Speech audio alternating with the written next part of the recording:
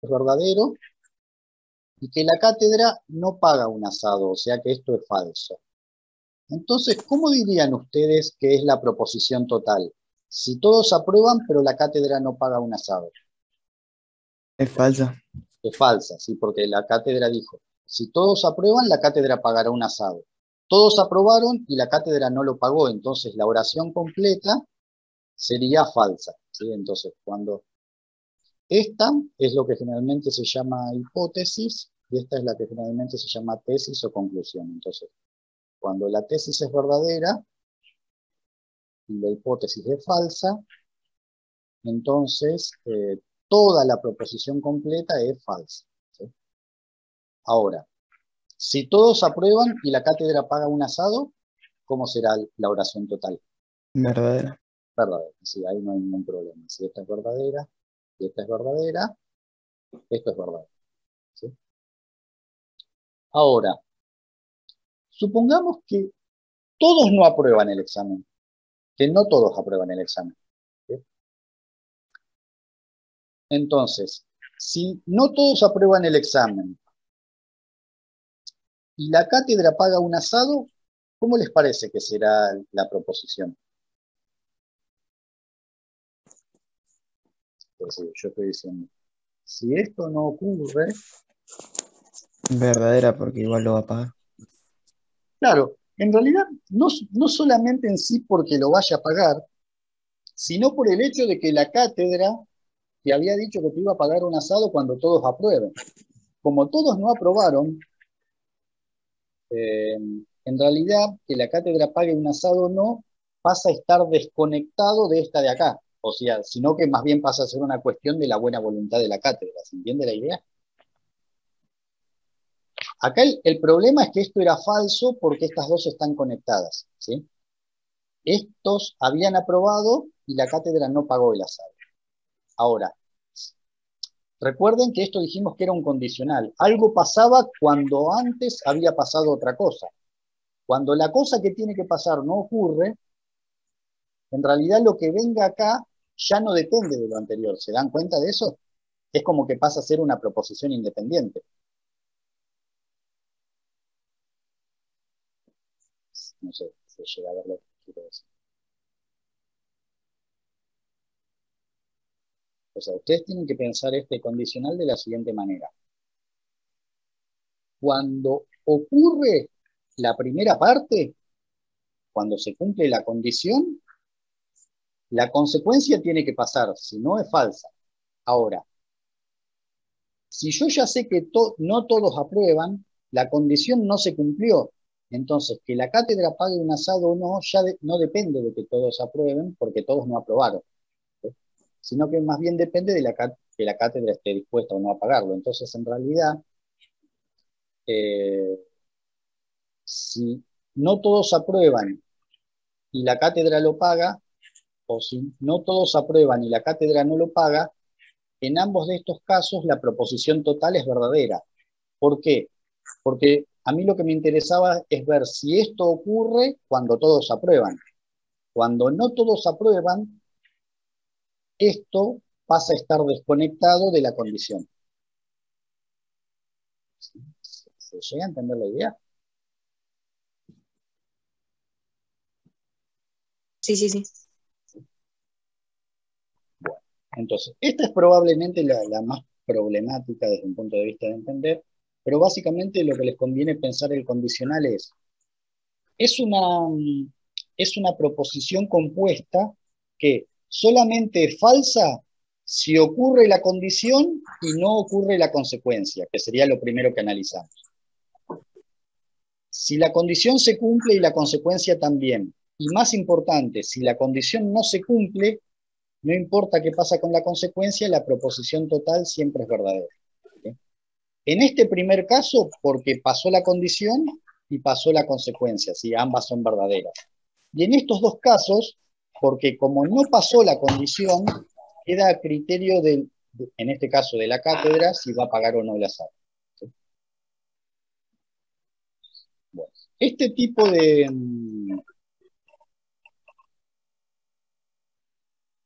Este tipo de proposición compuesta se llama condicional o implicación.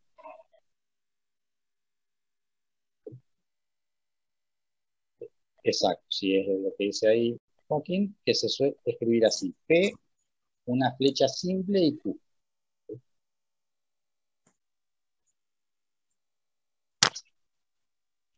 Muy bien.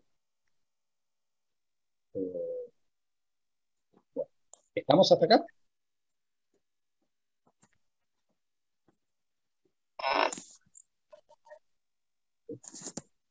Falta una sola más de estas compuestas, que es la que se llama bicondicional.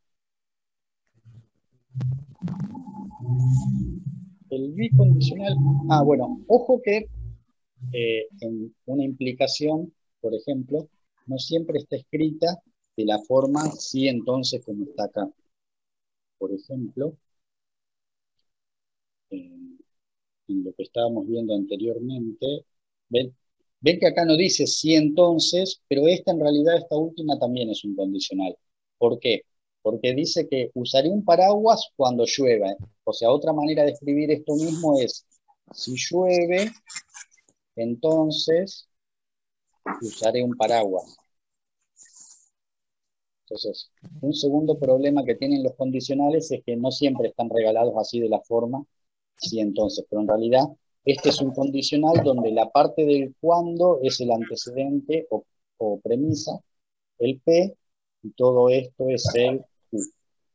Entonces, esta proposición en su totalidad se representa como P entonces. ¿Se llega a ver eso?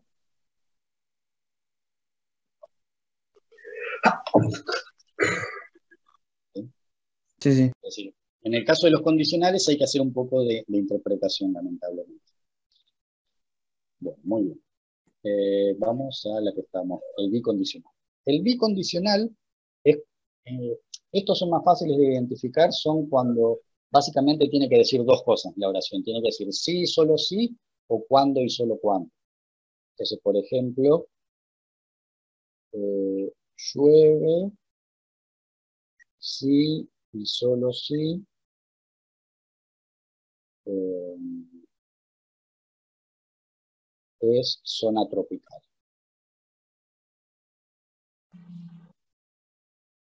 Entonces, para que un bicondicional sea verdadero, ambas proposiciones tienen que ser, ambas, las dos proposiciones tienen, perdón, las dos proposiciones tienen que ser ambas verdaderas o ambas falsas. Entonces, eh, particularmente si esta la llamamos P y esta la llamamos Q, entonces, si ambas son verdaderas o ambas son falsas, el bicondicional es verdadero. Porque, poniendo la definición más fácil, un bicondicional es verdadero cuando ambas proposiciones tienen el mismo valor de verdad. O sea, si ambas son verdaderas o ambas son falsas, el bicondicional es verdadero. Y si una es verdadera y una es falsa, cualquiera de las dos, el bicondicional es falso. Porque básicamente el bicondicional lo pueden pensar entre comillas como una igualdad o una equivalencia. Es decir, lo que está buscando es que las dos proposiciones siempre sean verdaderas o falsas simultáneamente. Y esto se, suele denotar matemáticamente con, este símbolo, o sea, con una flecha en los dos extremos. Y se llama eh, bicondicional. Este no es tan común y las pocas veces que ocurre es relativamente fácil de, de identificar. Bueno, con respecto a esto, estábamos que estábamos charlando. La única que no les mostré explícitamente es una que se llama la negación, porque creo que esas se imaginarán lo que es. O sea, si la proposición P es verdadera, la negación de P es falsa y generalmente se representa. O sea, si P es la proposición original, su negación se representa con, eh, como si fuera el signo de resta adelante y significa negación de P. Y es una proposición tal que cuando P es verdadera, la negación de P es falsa, y cuando P es falsa, la negación de P es verdadera. Esa es la única que trabaja con una sola proposición.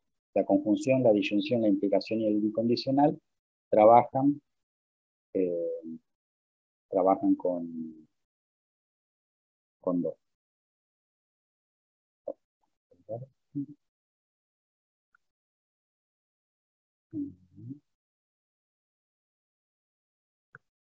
Bueno, acá simplemente lo que aparecía era lo que estuvimos charlando individualmente con cada una de ellas. Y ahí sí por fin llegamos a lo que decía Joaquín, dice. A partir de las definiciones de los operadores lógicos, se pueden obtener eh, los valores de verdad de proposiciones más compuestas a, través de lo que se llaman tablas de verdad. Es decir, existe una manera de codificar todo eso que estábamos charlando recién que es así. A ver si tengo el lugar por acá. Mm, vamos a hacer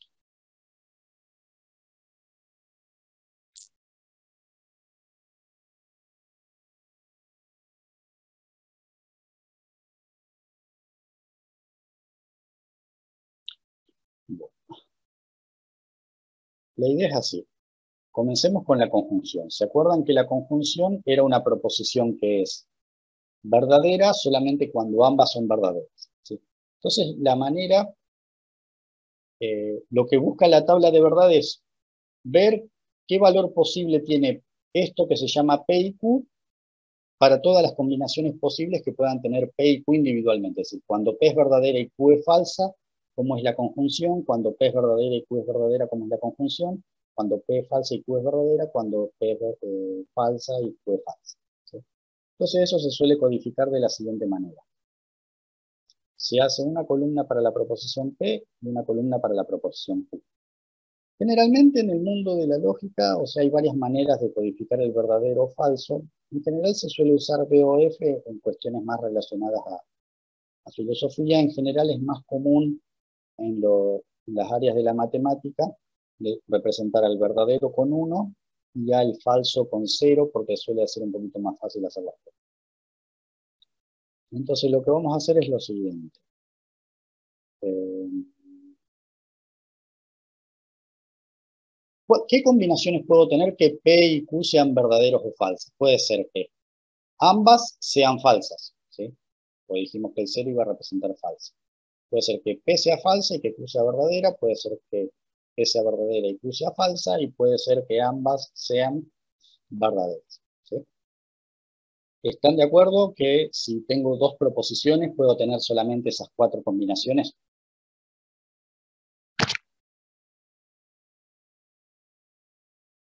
Sí, sí. entonces, cuando tengo esas cuatro combinaciones, P y Q es así.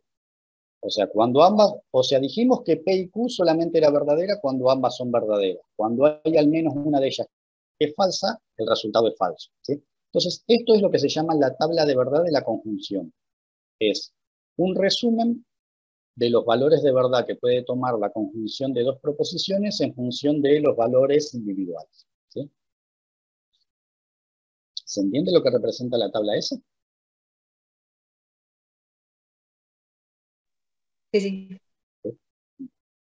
Bueno, y esto mismo se puede hacer para todas.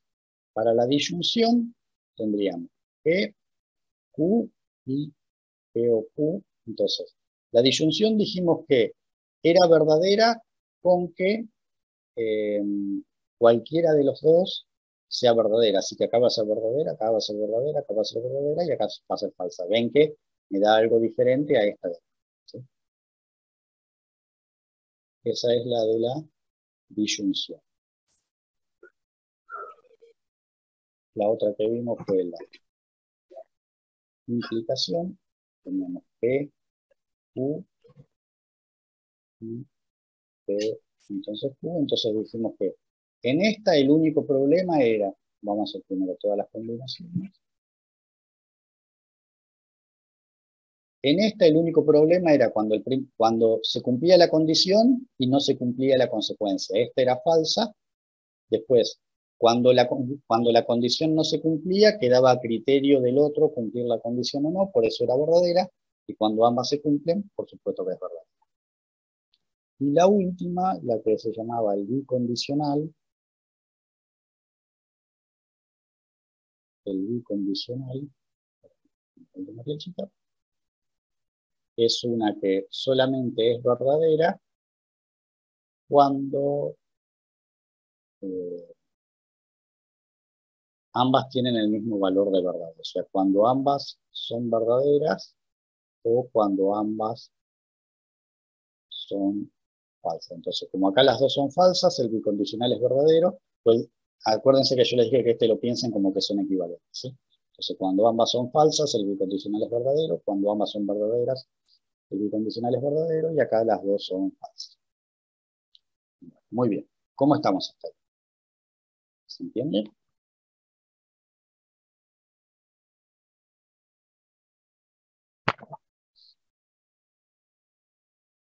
Sí, sí. Con esto uno puede, em, puede, en función de estos cuatro bloques, construir otros, otras proposiciones un poquito más complicadas. Vamos a tratar de que quede a la vista.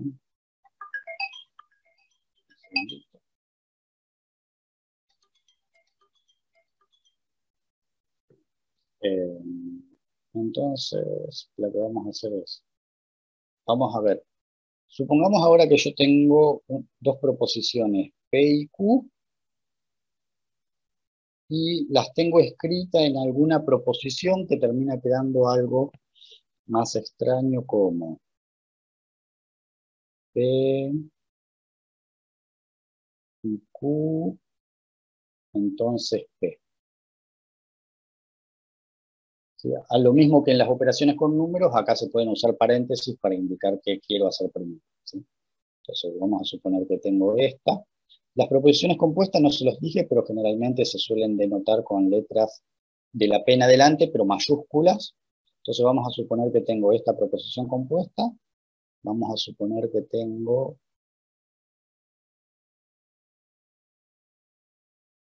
Vamos a hacer una columna incondicional, por ejemplo. Vamos a hacer esta. Y vamos a hacer un poquito, un poquito más grande. Vamos a ver si tenemos.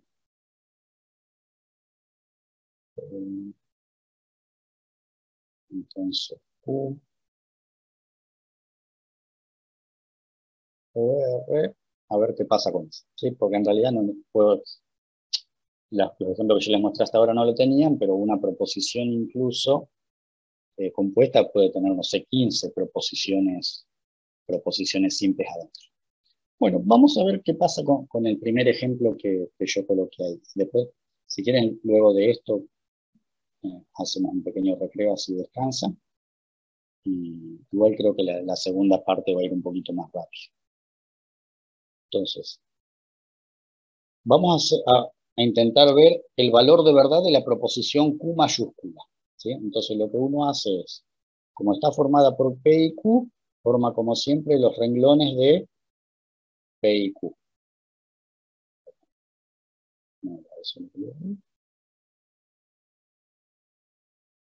Acá tenemos esto y acá tenemos esto.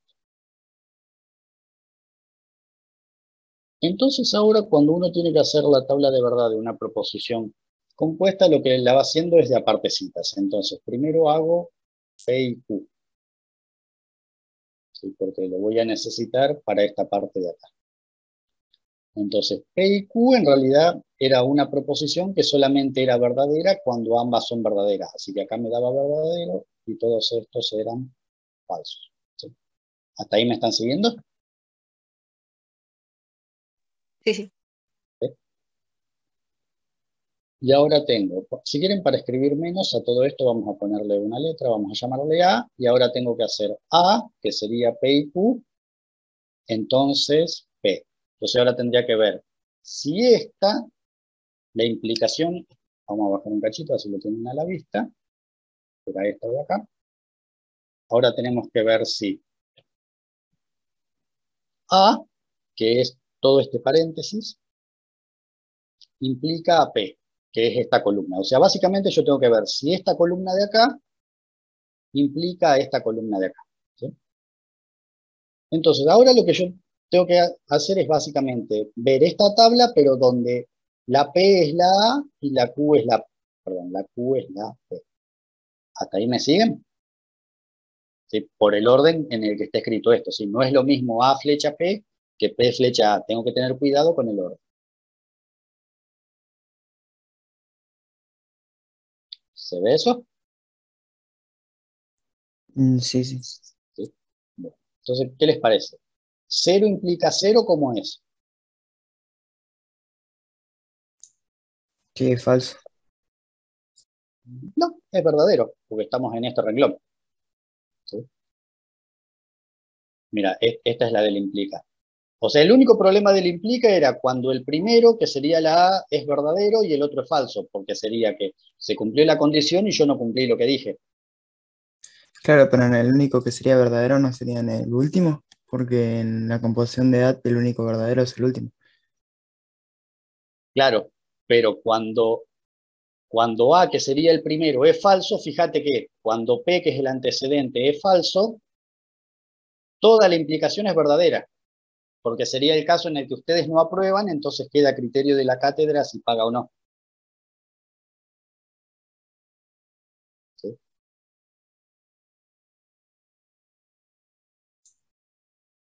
Sí, sí. Entonces, como, como en estos tres, como dijo el compañero, el A comienza con cero, estoy siempre en estos dos renglones, entonces la implicación total siempre es verdadera. Y en el único caso que A es verdadero, P también es verdadero. Uno con uno me da uno. Entonces, nunca se produjo el caso en el que tenga un 1 en esta columna y un 0 en esta. ¿Se ve la idea?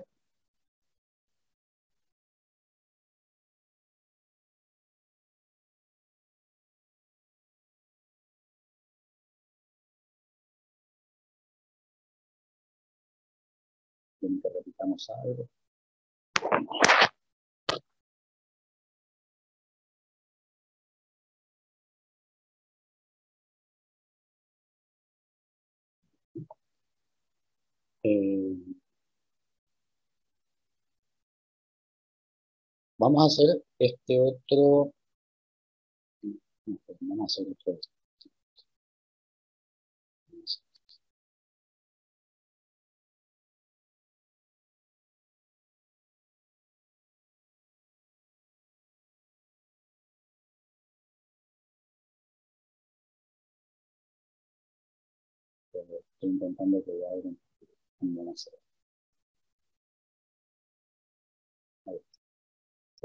vamos a hacer este mismo experimento para, para esta que está acá. O sea, esta al final que está acá es P, entonces. P es una proposición compuesta que miren qué cosa interesante, no importa qué pase con las proposiciones individuales, siempre es verdadero. Ahora vamos a hacer este experimento. PQ eh,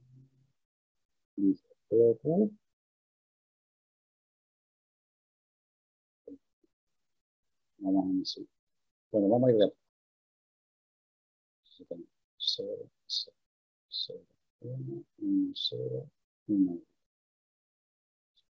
Bueno, dijimos que esto que era una disyunción era verdadero cuando cualquiera de los dos sea verdadero. ¿sí? ¿Hasta ahí recuerdan? Sí. No P, ¿qué va a hacer?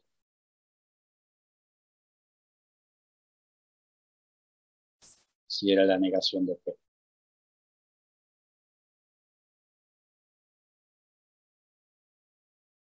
¿Qué les parece? Si, esta es P, la negación de P, ¿cuánto va a valer? Lo contrario. Lo contrario, sí, o sea, 1, 1, 0, 0. La negación de Q, 1, 0, 1, 0. Perfecto. Ahora, fíjense que tengo que hacer la conjunción de estas dos. La primera que me da el primer renglón.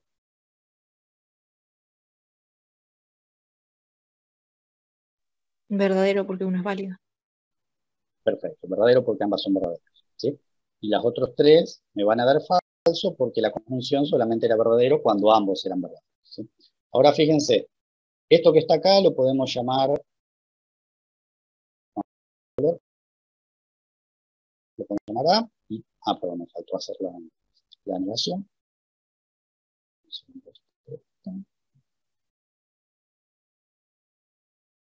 Ahora tengo que hacer, no, no puedo, no puedo.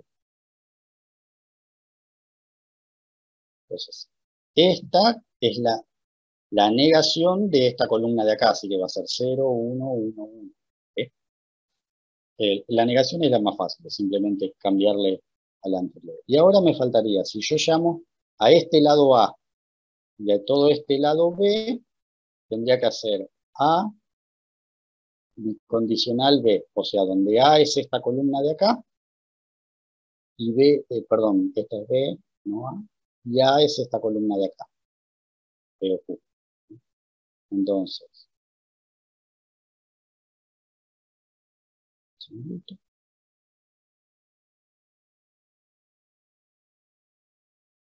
entonces, el bicondicional fue la última que vimos. Dijimos que lo teníamos que pensar, entre comillas, como que fuesen equivalentes. O sea que esta columna va a tener un 1 cuando ambas tengan el mismo eh, valor de verdad. ¿sí? O sea, serían todas. Serían todas. Entonces esto me va a dar 1, 1, 1, 1. Bueno. Y eh, vamos a hacer la última. La última tiene menos cuentas, pero lo que yo les quería mostrar es una complejidad que es Fíjense que ahora esta tiene tres proposiciones individuales, tiene P, Q y R. Entonces tiene P, Q y tiene una tercera que es R. Esto lamentablemente lo que trae es un problema de longitud. ¿Por qué? Como nosotros estamos trabajando con lo que se llama lógica clásica o bivalente, donde cada proposición puede ser verdadera o falsa, entonces quiere decir que por cada proposición yo tengo dos valores posibles, verdadero o falso. Por eso, cuando tengo dos proposiciones, tengo cuatro en total, dos por la primera y dos por la segunda.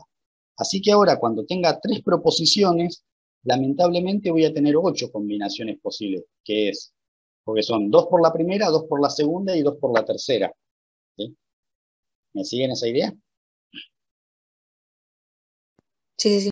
Pueden ser que sean las tres falsas, estas dos falsas y esta verdadera, o puede ser que sea así, Básicamente, en realidad, lo que yo estoy haciendo es jugando y haciendo todas las combinaciones posibles con ceros y unos que me cubren eh, eh, tres, eh, de longitud tres posibles.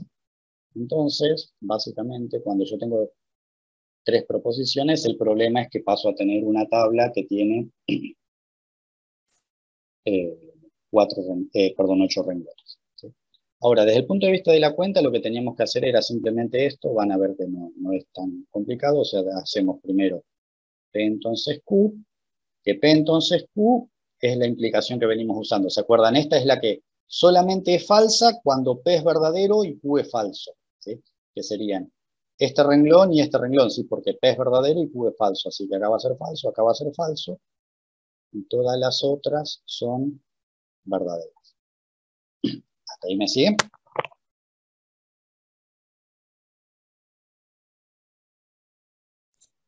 Sí, sí. Y ahora me falta hacer solamente P entonces Q o R. Como es uno, o sea, si yo ahora llamo a toda esta columna, la llamo A, yo acá tengo que hacer A o R, es decir, tengo que hacer el O entre estas dos columnas. Entre esta y esta. Entonces, esa era una que es verdadera cuando cualquiera de las dos sea verdadera. Así que acá va a ser verdadera, acá va a ser verdadera, acá va a ser verdadera, acá va a ser verdadera. Acá va a ser falsa porque ambas son falsas. Verdadera, verdadera y verdadera. Nada, era como para mostrarles que se construye de la misma manera con dos, pero que simplemente el problema es que la tabla pasa a ser más grande. Bueno, ¿cómo estamos hasta acá? ¿Se entiende? Sí, sí. Yo les diría, ya que pasó como una hora y media, si quieren, hacemos un pequeño recreo de 5 o 10 minutos para que descansen y luego hacemos la segunda mitad que creo que va a ir más rápido y que va a ser más corta. O ustedes están acostumbrados a hacer todo el tramo de.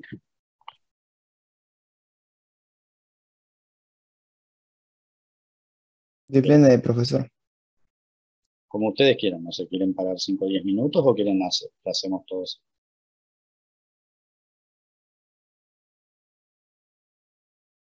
Por mí paramos cinco minutitos. ¿Cinco? No. no. Según mi compu, son 42. Si quieren 11 menos 10 seguimos, así tratamos de terminar incluso antes de las 12. ¿Sí? Bueno, bueno. Entonces, yo freno un cachito la, Recording stopped. eh, apago un cachito y bueno, menos 10 volver. ¿sí? Es decir, quiero decir, la reunión la dejo, apago nada más un cachito la cámara. Bueno, continuamos entonces en un rato.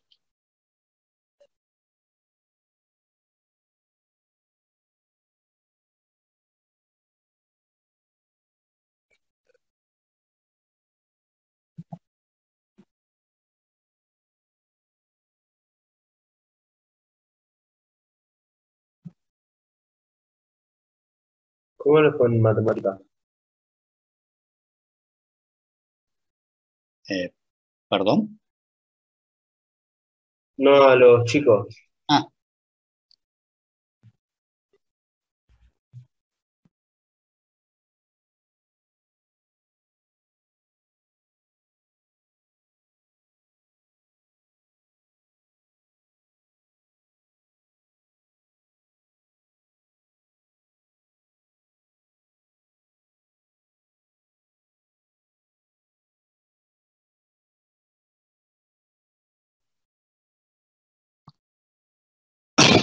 Bueno, muy bien.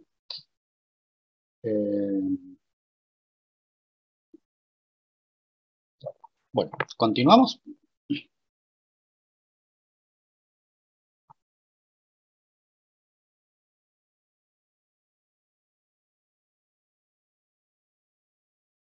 Listo, perfecto. Recording in progress.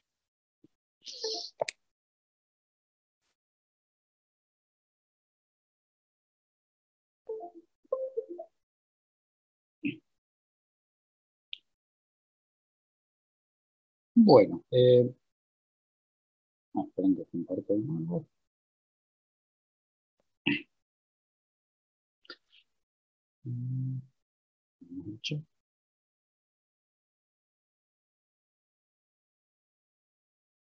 Bueno, ya casi estamos en el momento en el que yo les puedo mostrar cómo uno puede usar todo lo que venimos charlando para ver si un razonamiento es válido o no. Primero que nada, faltan dos definiciones, pero que están basadas en cosas que ya vimos. Entonces, eh, existe una, una opera, un, un concepto en lógica muy similar al de la implicación, que es la implicación lógica. Vamos a verlo mejor esto en el ejemplo que estábamos haciendo recién.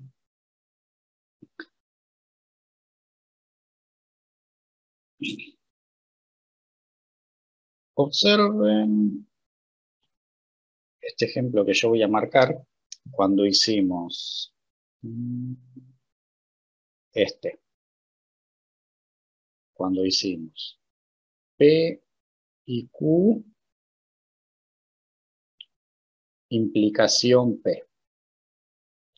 Ese era este que estaba acá, que observen que particularmente nos dio que para todos los renglones de la tabla, yo acá había borrado uno, pero lo voy a volver a hacer, acá estaba el 1, 1, este me daba 1, entonces cuando yo hacía este implica este, me daba siempre 1.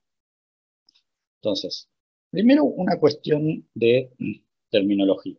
Cuando el resultado de una proposición compuesta es siempre verdadero, como en este caso sería la proposición P, que era todo esto, P y Q implica P. Cuando una proposición compuesta es siempre verdadero para todas las combinaciones de valores de la tabla de verdad de las proposiciones simples, esa proposición recibe el nombre de tautología. O sea que si yo tengo una proposición compuesta que depende de P, Q, R y S, y alguien me dice que es una tautología, no importa que P, Q, R y S sean verdaderos o falsos, yo sé que la proposición total es verdadera.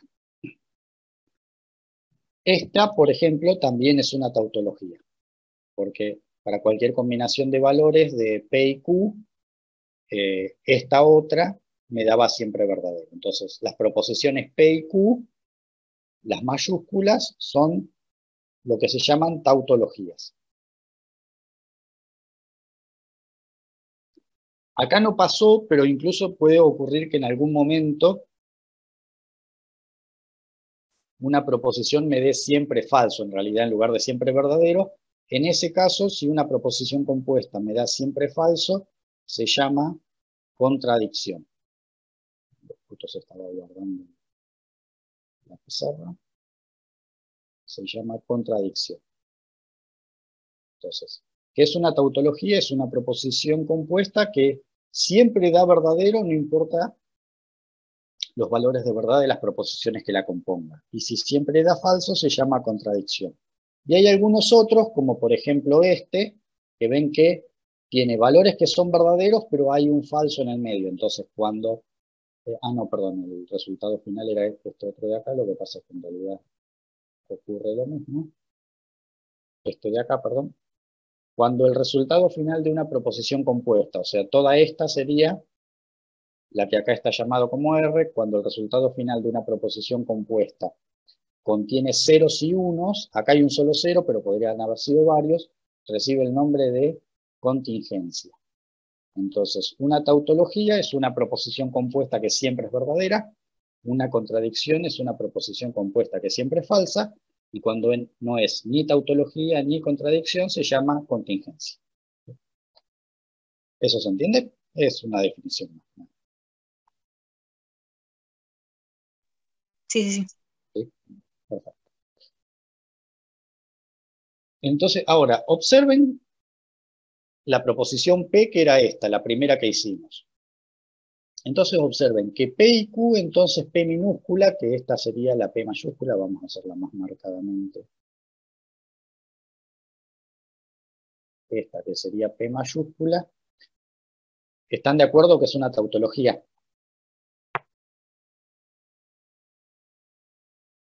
Sí, porque el resultado final me da siempre verdadero. Sí, sí. Entonces, cuando una implicación común, cuando una implicación común, como en este caso eh, esta, es una tautología, entonces se dice que la primera proposición implica lógicamente a la segunda. Entonces, si a esta le ponemos el nombre A y a esta le ponemos el nombre B, entonces, como A bicondicional B. Esta autología, esta autología se dice que A implica con doble flecha a B y eso se llama implica lógicamente. O sea, acá viene una pequeña confusión que es, que existen dos eh, conceptos eh, relacionados que son la implicación común y la implicación lógica. La implicación común es una proposición, otra proposición, yo las conecto con el bicondicional y me puede dar verdadero o falso. Ahora, si me da siempre verdadero, es decir, yo podría hacer una proposición común, no sé, no sé, tener acá una A, una B, no sé, cero, o sea que incluso sean de, varias de varias proposiciones simples y cuando hago eh, la implicación común, acá me da 0, 1, 1, 0, ¿sí? Porque acuerden, acá hay cosas en el medio, no es que directamente es entre estos dos. Entonces, yo puedo hacer un bicondicional que a veces me dé falso y que a veces me dé verdadero. Eso es el bicondicional que habíamos, eh, perdón, bicondicional no, el condicional que habíamos hablado. Ahora, un condicional común puede ser verdadero o puede ser falso. Cuando siempre es verdadero, esa implicación común pasa a llamarse implicación lógica y como notación cambia la flecha simple por la flecha 2. ¿sí? Entonces, cuando yo digo implicación lógica y coloco este símbolo, estoy diciendo que es un condicional y además estoy diciendo otra cosa. Estoy diciendo que este condicional me da siempre verdadero. Un condicional común puede ser verdadero o falso. Una implicación lógica es un condicional, pero que siempre es verdadero. ¿Se entiende la idea? o la diferencia entre los dos? Sí, sí. Bueno, y la misma relación existe con el bicondicional. Eh, a ver, vamos a... Acá vamos a tomar esto. Observen que en este caso yo tenía, habíamos hecho P o Q, esta era la proposición Q compuesta, era P o Q, y habíamos hecho bicondicional, no, no P y no Q. Y habíamos llegado que el resultado final era esto, que era una tautología. Entonces vamos a llamar a esta parte de acá, la primera parte del bicondicional la vamos a llamar A, y la segunda parte del bicondicional la vamos a llamar B. Entonces, en definitiva, hicimos A bicondicional B. ¿Y qué me dio A bicondicional B? Me dio una tautología. O sea, lo, es decir, particularmente para estas dos proposiciones, me da siempre verdadero. Acá pasa lo mismo que con la implicación. Yo puedo hacer un, bicondicional entre C y D, y me puede dar a veces verdadero, a veces falso. Particularmente cuando yo hago el bicondicional entre dos y me da siempre verdadero, se dice que A y B son lógicamente equivalentes.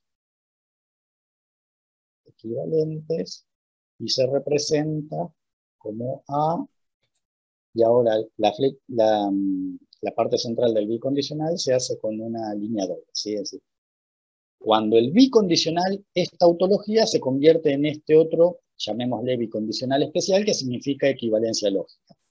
Entonces, dos proposiciones compuestas son lógicamente equivalentes cuando su bicondicional es una tautología. Eso, si uno lo, analiza, lo que termina queriendo decir es que A y B son siempre verdaderas o falsas simultáneamente. ¿Cuál es la diferencia con el bicondicional? Que con el bicondicional uno se fija si son verdaderas o falsas cada uno de los renglones individuales. En cambio, cuando uno pone lógicamente equivalente, es como que alguien ya hizo el resumen y me dice, todos los renglones dan verdadero. ¿Se entiende la diferencia?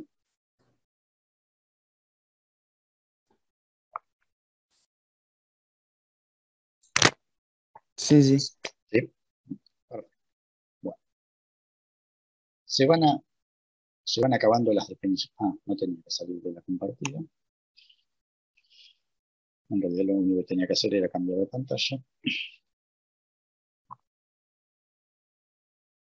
Bueno, em, entonces, esto de tautología ya se lo conté, lo de implicación lógica ya se lo conté, lo de equivalencia lógica ya se lo conté, y llegamos a la parte interesante que cómo uso todo esto, que era mi objetivo inicial, para saber si un razonamiento es eh, válido o inválido. Entonces, habíamos dicho, ahora ya poniendo en palabras más concretas, como conocemos el nombre de conclusión, hipótesis, un razonamiento es una secuencia de proposiciones donde una de ellas se llama conclusión, las demás premisas o hipótesis, y lo que más nos interesa, un razonamiento se considera válido, habíamos dicho tener una evidencia en las hipótesis para la conclusión. Ahora ya poniéndolo en palabras más concretas con lo que hemos aprendido, se dice que un razonamiento es válido cuando la verdad de las premisas implica la verdad de la conclusión. O sea, siempre que eh, todas las premisas sean verdaderas, la conclusión tiene que ser verdadera. Pero ahora, ¿qué ocurre? Como esto implica, significa la implicación que vimos hace un ratito, ¿sí? la implicación habíamos visto que era, vamos a rayar arriba de esto, el implica, lo que habíamos visto era el de la forma entonces Q. Entonces ahora, un razonamiento va a ser válido cuando siempre que las premisas sean verdaderas, la conclusión sea verdadera, que eso es lo que quiere decir que la conclusión se deduzca de las premisas. Pero ahora, si siempre que las premisas sean verdaderas, ¿sí? o sea, esta P en realidad puede incluir varias, puede ser la premisa 1 y la premisa 2, pueden ser muchas.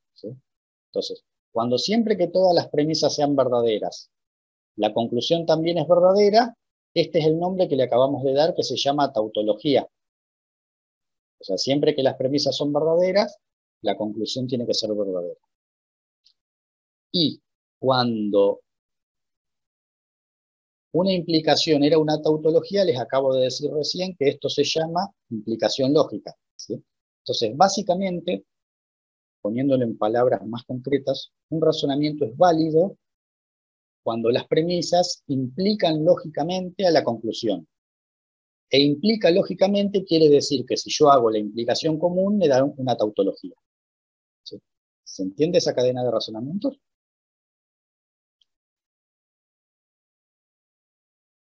O sea, habíamos dicho intuitivamente que las premisas me tenían que dar un pie o un basamento para la conclusión.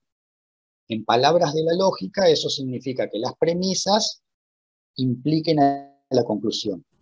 Y particularmente, me, ¿qué me interesa? Que siempre que las premisas sean verdaderas, la conclusión sea verdadera. Y eso es lo que definimos como una tautología. Entonces, si una implicación es una tautología, lo que quiere decir es que un razonamiento va a ser válido cuando las premisas impliquen lógicamente la conclusión. ¿Se entiende?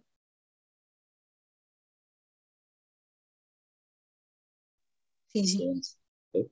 Está bien, también ustedes están absorbiendo varios conceptos al mismo tiempo, pero ahora lo vamos a ver con un ejemplo que creo que les va a servir para, para acomodarse a lo que estamos hablando. Bueno, entonces, ¿cómo, ¿cómo uno evalúa la validez de un razonamiento? Entonces, lo primero que hace es traducirlo del lenguaje natural al lenguaje lógico, y ahí lo que obtiene es la forma del razonamiento. ¿A qué se refiere con esto de la forma del razonamiento? Vamos a hacer un ejemplo muy pequeño.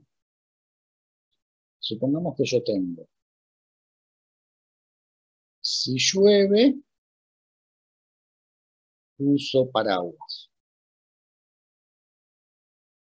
Llueve, vamos a poner así, entonces, uso paraguas. Entonces, ¿qué está ocurriendo en este razonamiento? Tengo una primera premisa que es, si yo llamo a llueve lo llamo P, y a usar paraguas lo llamo Q, están de acuerdo que si llueve uso paraguas es de la forma P entonces Q. ¿Qué les parece?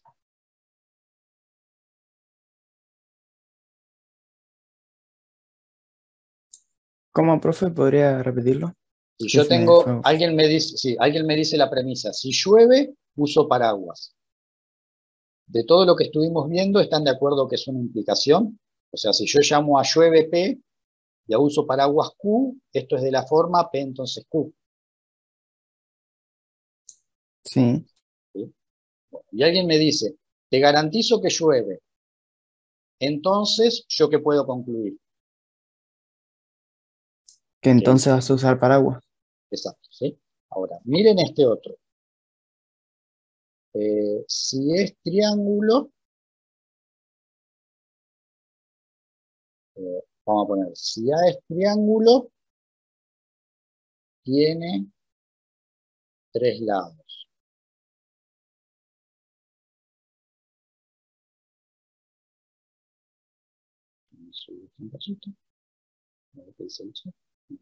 Perfecto. Si A es triángulo, tiene tres lados. Eh, ahora decimos, eh, A es triángulo, triángulo, entonces A tiene tres lados. Entonces, acá también dice, si ocurre esto, pasa esto. Entonces, si a este yo lo llamo R, por ejemplo, y a este lo llamo S, ¿Están de acuerdo que la primera es de la forma R entonces S? Sí. Y como alguien me garantiza que es un triángulo, lo que pasa es R. Así que, ¿qué puedo concluir yo? Que tiene tres lados. Que tiene tres lados, que es S. Ahora, más allá de, de los nombres que yo le puse a las letras, ¿Cómo les parece que es este razonamiento en su forma con respecto a este?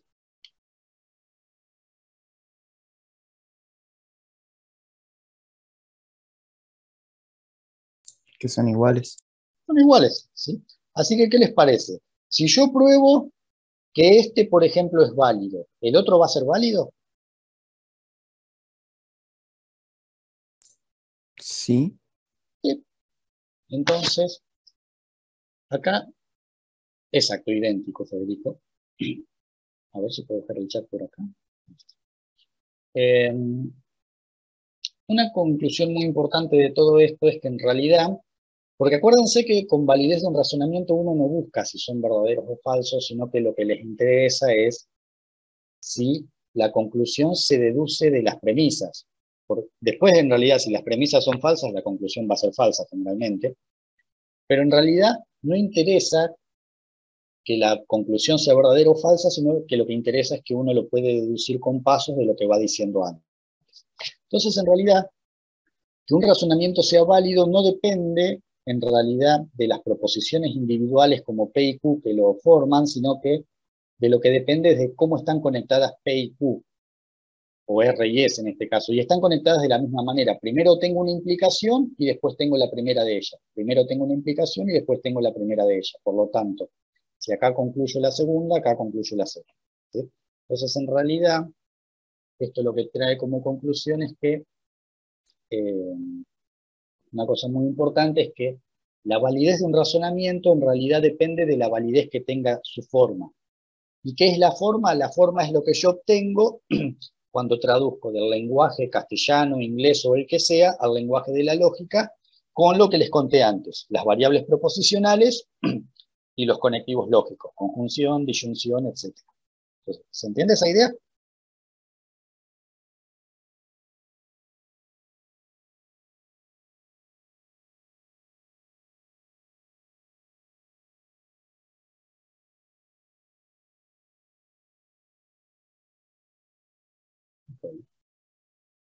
Bueno, entonces, eh, bueno, esto en realidad ya se los adelanté.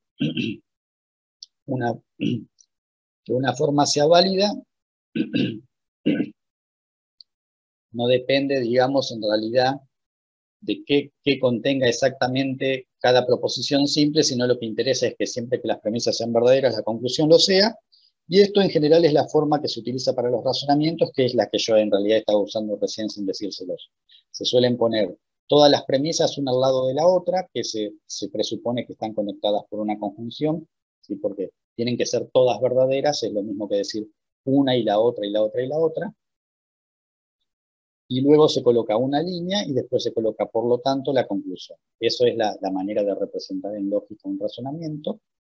Y bueno, todo esto que venimos diciendo se traduce en que eh, un razonamiento o la forma de un razonamiento va a ser válida cuando la conjunción de todas las premisas implica lógicamente la conclusión. Y que implique lógicamente la conclusión quiere decir que siempre que todas las premisas sean verdaderas, la conclusión también va a ser verdadera, es decir, que la implicación común sea una tautología. y por último, de esta primera parte, les voy a mostrar cómo usar esto para probar eh, Vamos a volver al razonamiento al principio de todo, que les había puesto como ejemplo o como objetivo. Estoy acá y los voy a, lo voy a usar para mostrarles cómo uno puede usar todo esto para demostrar lo que intuíamos, que es que este razonamiento es válido. Entonces, una manera es, como ustedes imaginarán, con las tablas de verdad. Entonces, uno tiene que identificar primero las proposiciones que intervienen una proposición que interviene es, eh, acá si bien dice el ladrón tuvo que entrar por la puerta o bien por la ventana, en realidad esta es una forma más resumida de el ladrón tuvo que entrar por la puerta o el ladrón tuvo que entrar por la ventana. ¿Están de acuerdo? Sí. Entonces, ahí en esa primera tenemos dos proposiciones. Ladrón entra por la puerta bueno, lo estoy escribiendo medio indio, pero ustedes entienden la idea a qué me refiero. Y la segunda, el ladrón entra por la ventana.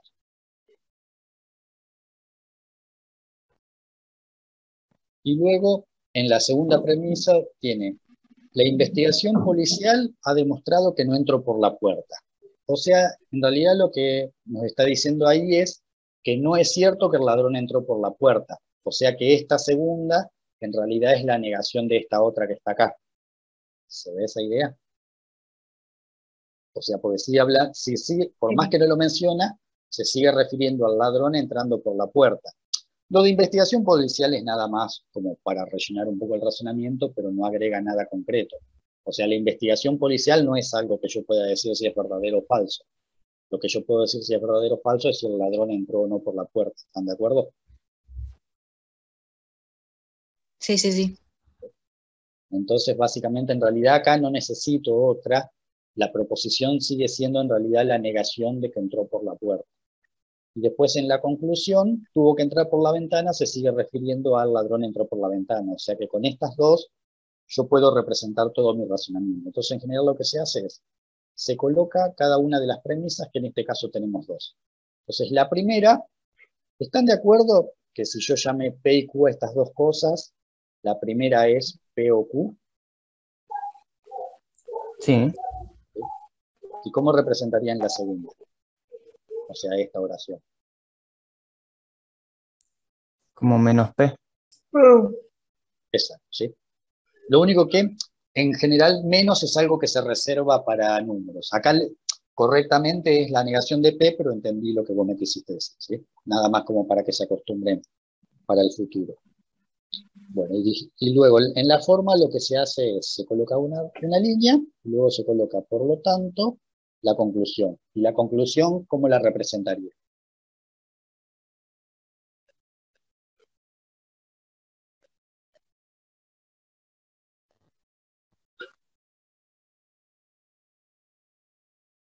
¿Necesito alguna proposición nueva o puedo usar algo que ya está?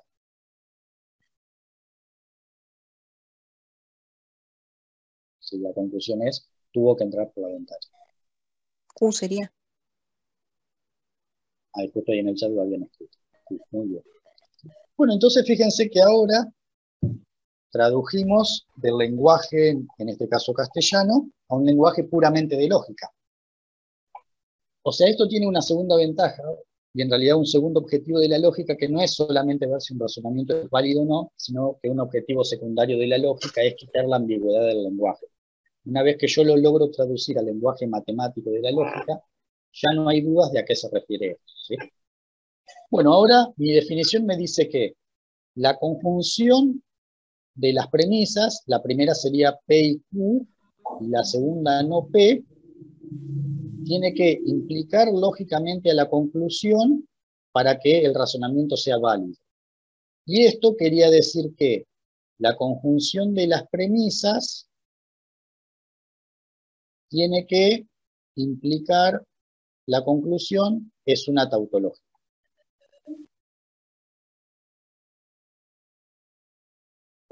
Entonces, básicamente lo que nosotros tenemos que hacer es la tabla de todo esto y fijarnos si es una tautología. Y de esa manera podemos saber si el razonamiento es válido. ¿Hasta acá me siguen? Sí. Sí, ¿Cuántos renglones va a tener nuestra tabla? ¿Qué les parece? va a tener los cuatro normales. Cuatro, porque son dos proposiciones. Perfecto. P y Q, hacemos todas las combinaciones. Bueno, en realidad yo lo hago así, 0, 0, 0, 1, 1, 0, 1, 1.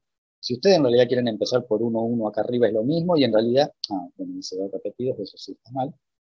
Pero si ustedes quieren, por ejemplo, poner primero el 1, 0 y después el, el 1, 1, también está bien, lo que pasa es que es más probable que vayan a meter la pata. O sea, normalmente se hace así, porque es más fácil evitar los errores, pero en realidad cada renglón de la tabla es independiente de los otros. Uno lo puede hacer si tuviese cinco proposiciones, que son 32 renglones, puede comenzar por el renglón 17 y seguir por el 8.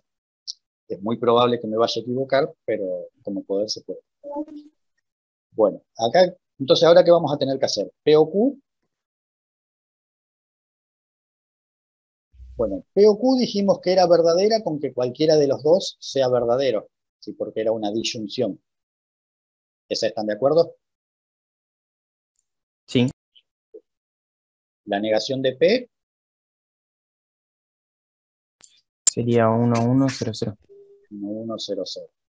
Ahora, siempre, aunque, aunque acá no se nota, todas las premisas de un razonamiento siempre están conectadas por una conjunción. Así que ahora tenemos que hacer la conjunción de estas dos. P o Q, es decir, del resultado de esta columna con el resultado de esta columna. ¿Qué les parece que va a dar eso?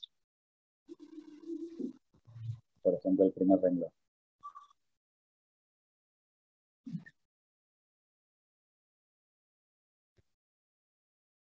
O sea, la conjunción era el i. ¿Qué tenía que pasar para que el i sea verdadero? Que al menos una sea verdadera. Ese es el o, Cuando las dos eran verdaderas, ¿no? cuando las dos son verdaderas. El i es cuando las dos. El o es cuando es al menos uno. Entonces, este va a ser falso porque este es falso. Este va a ser verdadero porque son los dos verdaderos y estos dos van a ser falsos porque tengo uno falso. Y ahora tengo que hacer todo esto, que vamos a llamarle A si quieren. A implica Q. Vamos a ponerle A. Tenemos que hacer ¿El segundo A. no sería falso también? El segundo, eh, ¿vos decís este? Claro, pero en la, en la última conjunción. Porque P o Q es verdadero y menos P, de, la, el contrario de P es. Es Ah, es un verdadero. uno, es un uno, Sí, sí, sí, es un número, es un uno feo, pero era un uno, porque es la negación de Eh, No, no, si hubiese sido un cero, sí, también hubiese sido cero. Entonces ahora tenemos que ver, esta columna implica esta. O sea, cero implica cero, ¿cómo es?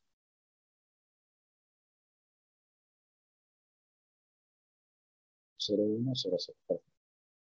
Y a ver, esta o de a una o todas juntas, como ustedes quieran, es eh, la... mm, Ahora se ya la otra.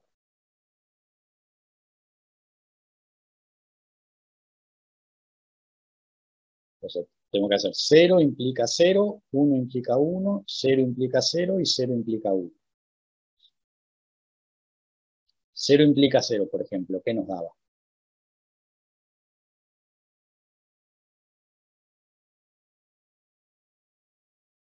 Verdadero, porque cuando, la, cuando el antecedente, que en este caso sería A, es falso, o sea, si no aprueban que yo la cátedra pague o no el asado, es independiente. ¿sí? Entonces, 0 implica 0 es 1. 1 implica 1 es 1 porque es el caso donde se cumple la condición y se cumple, perdón, se cumple la condición y se cumple la conclusión. 0 implica 1.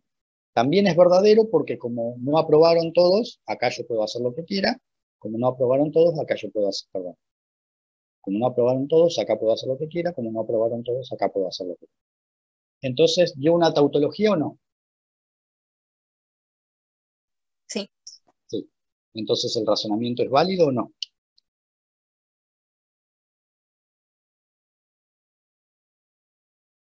Sí. Perfecto. ¿sí? Ahora, fíjense, recuerden, ¿sí? Que el razonamiento sea válido no quiere decir, o sea, yo cualquier forma que razone con esto, el razonamiento va a ser válido, lo cual no quiere decir que la conclusión vaya a ser verdadera, ¿sí? Pues yo puedo decir, los gatos son negros o llueven, o llueven meteoritos, ¿sí? Eh, los gatos no son negros, llueven meteoritos. Como razonamiento está bien, pero en realidad como las proposiciones no están conectadas entre ellas, entonces que la conclusión sea verdadera o falsa no depende del razonamiento, ¿sí? Lo que sí importa es la estructura de que si yo hubiese puesto dos cosas relacionadas y que esta es verdadera y que esta es verdadera, la conclusión hubiese sido verdadera. Veamos. Esto, ah, bueno, esto había vuelto para atrás para eh, mostrarles eso. Bueno, en general, existen tres grandes maneras para mostrar que una forma es válida y por lo tanto el razonamiento. Tablas de verdad, que es lo que les acabo, de mostrar. Árboles semánticos. Y existe otra que es la que se llama las reglas de inferencia. Las reglas de inferencia, o sea, uno en general comienza con proposiciones simples y las va combinando para obtener nuevos conocimientos. Y hay muchas veces que eh, esas formas de obtener el conocimiento se van repitiendo. Entonces, para no tener que demostrarlas cada vez, alguien ya se tomó el trabajo de codificarlas y le llamó reglas de inferencia usuales. O sea, ¿qué son las reglas de inferencia? Son razonamientos pequeños ya conocidos que me permiten obtener razonamientos válidos cuando los uso. Entonces, en general, en, en, la mayoría de los libros de lógica van a encontrar una serie de reglas, de tal modo que eh, estas ya está, alguien se tomó el trabajo de probar con una tabla que son razonamientos válidos. Entonces, cada vez que uno usa estas, está obteniendo un nuevo razonamiento válido. Entonces, particularmente, eh, si ustedes se fijan, déjenme recortar esto.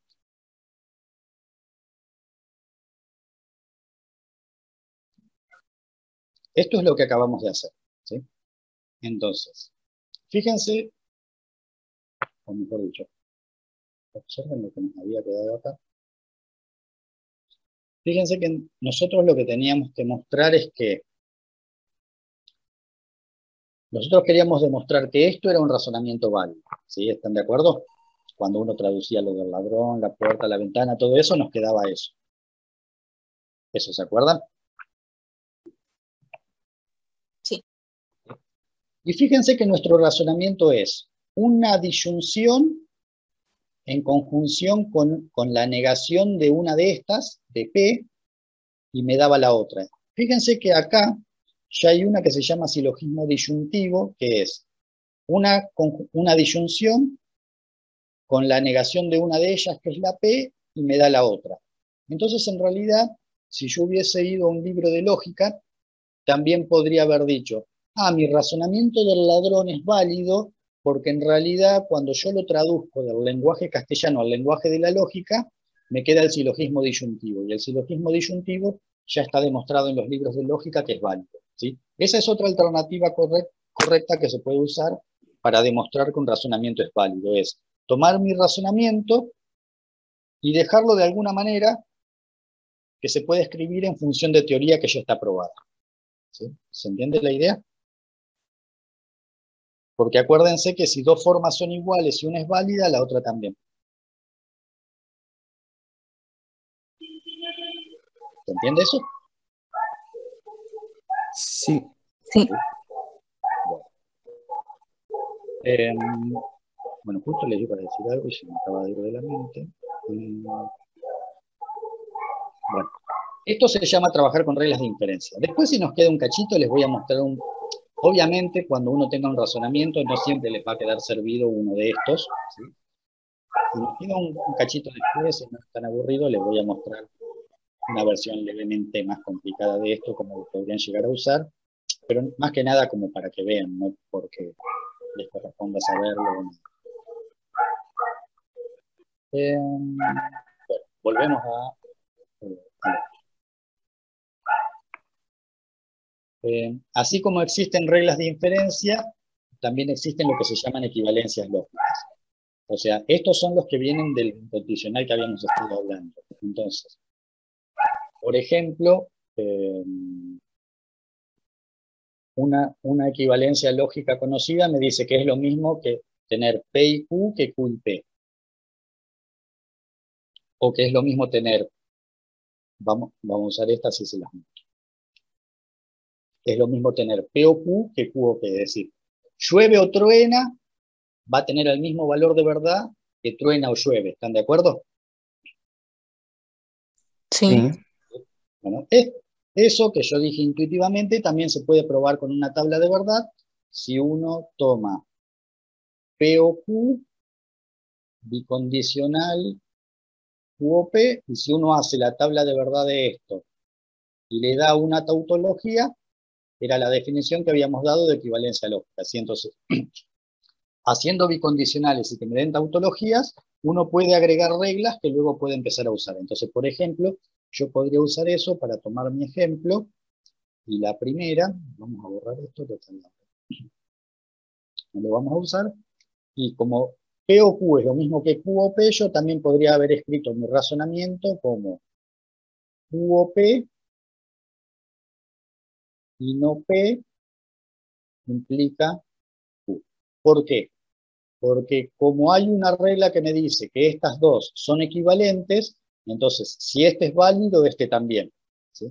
¿Se dan cuenta para qué pueden llegar a usar las equivalencias?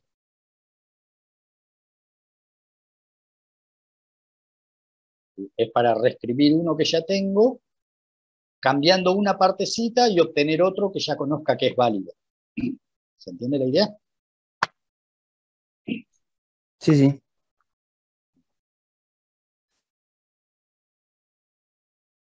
Esto si después nos queda tiempo se los muestro.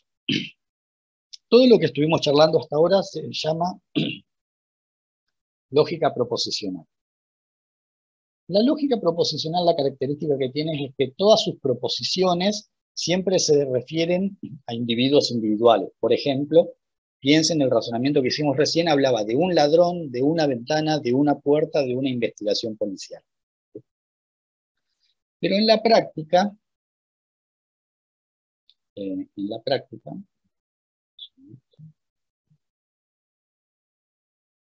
en la práctica, eso no siempre alcanza para representar cosas que aparecen en el lenguaje. ¿Por qué? Porque si yo tengo una proposición como que habla de todas las computadoras de una red o un alumno que no cursó matemática, todas las computadoras de la red, ahí ya se refiere a toda una clase, a todo un conjunto. Dada una determinada red que puede tener 500 computadoras, se refiere a las 500 al mismo tiempo. Después también puedo tener 500 alumnos de los cuales alguno no cursó matemática, pero solamente digo que existe alguno y no sé a cuál me estoy refiriendo. Si dijese el alumno que no cursó matemática, me estoy refiriendo a uno en particular, pero si yo digo existe un alumno que no cursó matemática, lo único que estoy diciendo es que tengo un grupo de alumnos de, la facultad, ¿sí? y existe por acá al menos uno, si acá tengo el, conjunto de los que cursaron matemática, que existe uno que no está acá dentro. El problema es que no lo estoy identificando. Todas esas cosas con lo que venimos viendo hasta ahora no se pueden representar. Requieren una forma de lógica más potente que se llama cálculo de predicados. Bueno, y eso es lo que vamos a charlar, pero esto lo vamos a charlar muy brevemente porque en realidad estudiarlo en detalle sería bastante complicado y sería mucho para un solo por un solo día, pero sí les voy a contar qué existe. Más que nada les voy a contar de sus orígenes históricos, que es lo que aparece en los libros básicos de lógica, pero para que se den una idea, esto viene de la... No, no de ahí, perdón, ya vuelvo. Esto viene de la época de Aristóteles, Platón, de los griegos, y ellos la llamaban proposiciones categóricas porque ellos hacían proposiciones que en lugar de, definirse a un gato, se refería al conjunto de los gatos, al conjunto de los pensadores, al conjunto de los griegos. Entonces ellos hablaban en función de clases, conjuntos o categorías. Estrictamente, matemáticamente, clases, conjuntos y categorías son tres cosas distintas y que ni siquiera son tan parecidas entre ellas. Pero nosotros vamos a hablar de clases, conjuntos o categorías intuitivamente básicamente coincide con lo que ustedes suelen entender como un conjunto, pero estrictamente son una cosa que se llama categoría. No importa. Em, entonces, los griegos solían hablar de trabajar con este tipo de proposición. Todos los políticos son mentirosos, ningún político es mentiroso, algún político, eh, perdón, algunos políticos son mentirosos, algunos políticos no son mentirosos. Entonces, ¿Qué hacían? Ellos trabajaban con clases. Por ejemplo, acá tengo dos clases, la clase de los políticos y la clase de los mentirosos. Entonces, particularmente esta proposición lo que me está diciendo es que adentro de la clase eh, de los mentirosos está incluida la clase completa de los políticos, ¿sí? porque todos los políticos también son mentirosos. ¿Me siguen esa idea? Sí, sí. Cuando uno dice ningún político es mentiroso, lo que está diciendo es que en realidad viven en compartimentos aparte. Por un lado tengo los mentirosos, por el otro lado tengo los políticos, pero no tienen nada en común. Algunos políticos son mentirosos representaría una cosa así.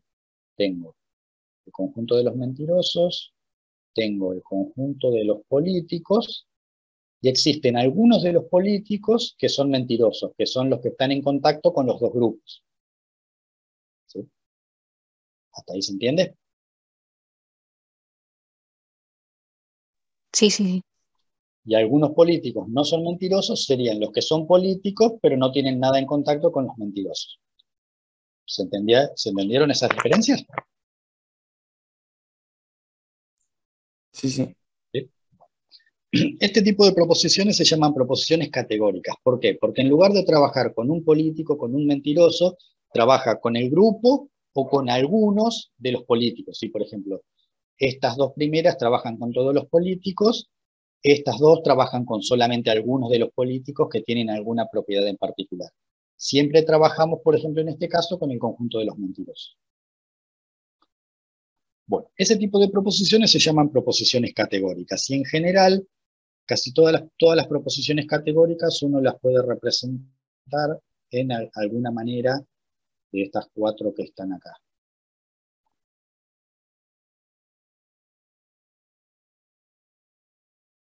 O sea, siempre todo es...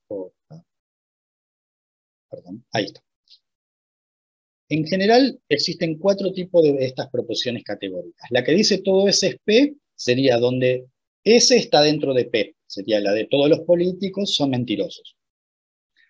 Ningún S es P es cuando S y P están separados, es decir, cuando ningún político era mentiroso, que estaban uno al lado del otro.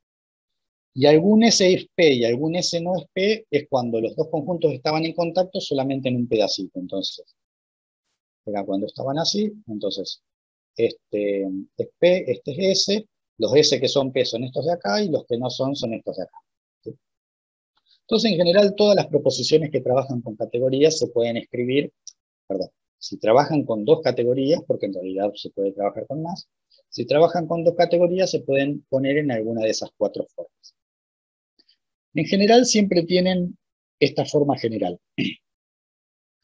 Un cuantificador que es el todo, el ninguno o el alguno. ¿sí? Se llama cuantificador porque cuando dice todo o ninguno se refiere a todos y cuando dice alguno se refiere a solamente alguno. ¿Están de acuerdo que significa?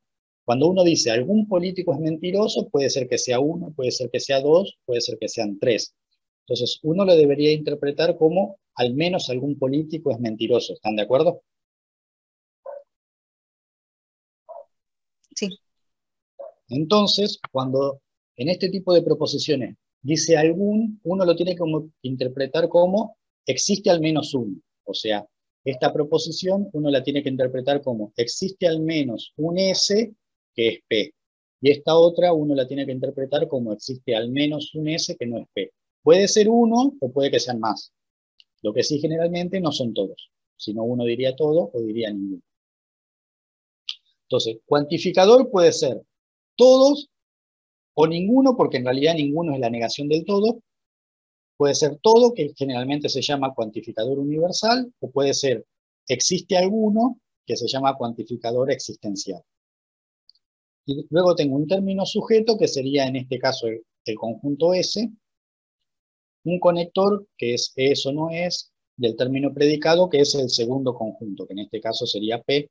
En nuestro conjunto anterior, el sujeto eran los políticos, en nuestro ejemplo anterior, y el predicado eh, los mentirosos. Entonces, eh, las proposiciones categóricas que estudiaron los griegos tenían todas estas formas. Esta generalmente en la teoría se le llama A de universal afirmativa, porque universal porque es para todo y afirmativa porque dice que todo lo cumple. La E se suele llamar universal negativa, universal porque es para todo y negativa porque dice que nadie lo cumple. La I es eh, existencial positiva, porque dice que hay al menos uno que cumple la propiedad, y la O es existencial negativa, porque hay al menos uno que no la cumple. Bueno, y de esta manera se estudió durante mucho tiempo todas las proposiciones que hablaban con conjuntos. Y la diferencia fundamental entre esto y lo que hicimos en la primera mitad, mitad y media de la clase, es que estas están trabajando con conjuntos enteros Las otras trabajaban en cada proposición con un individuo o carácter en particular. Bueno. Y entonces, en función de estos, aparecen lo que se llaman los silogismos categóricos. Este que está acá era el otro ejemplo que yo les había puesto en la primera diapositiva. Entonces, ¿qué son los silogismos categóricos? Son razonamientos que tienen tres proposiciones categóricas. En este caso, la primera es eh, algunos gatos son amistosos, es decir, acá tengo eh, el conjunto de los gatos y el conjunto de los gatos amistosos. Entonces, eso sería nuestro sujeto y nuestro predicado. Esta es una primera proposición. La segunda proposición es, todos los gatos son mamíferos, acá tengo una tercera clase, que son la clase de los mamíferos. Y luego la tercera, que combina eh, mamíferos con gatos amistosos. ¿sí? Pero fíjense que todas esas eh,